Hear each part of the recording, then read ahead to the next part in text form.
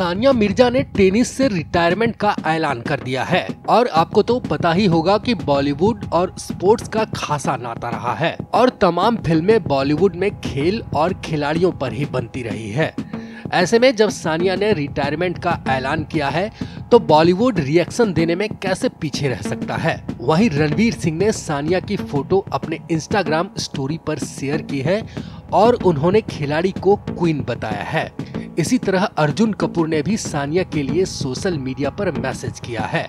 उन्होंने लिखा है कि सानिया बहुत सारे लोगों के लिए एक प्रेरणा थी और सानिया अब रिटायरमेंट ले रही है तो ज़ाहिर है उन पर बायोपिक फ़िल्में बनेगी।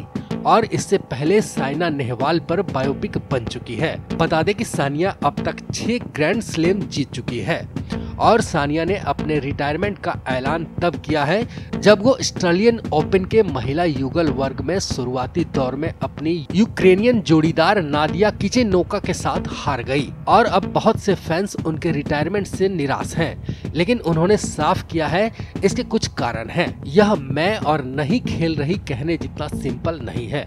मुझे लगता है कि मेरी रिकवरी में काफ़ी समय लग रहा है। साथ ही मैं अपने तीन साल के बेटे के साथ इतना ट्रैवल करके उसकी जान भी जोखिम में डाल रही हूँ।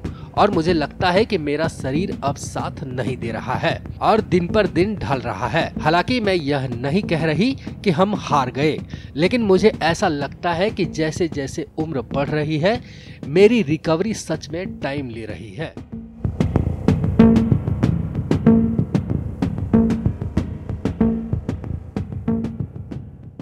फिल्मी दुनिया के अनोखे रंग, मज़ेदार खबरें और माया नगरी की गॉसिप्स के लिए आज ही सब्सक्राइब करें बॉलीवुड फ्राई